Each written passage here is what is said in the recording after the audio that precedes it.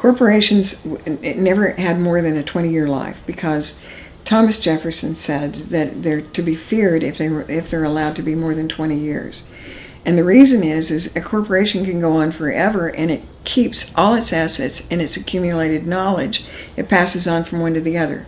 Now you have obviously they considered a, a, a life a, a good 20 year earning capacity life. But when you die as an individual, all of your knowledge and your assets die from you.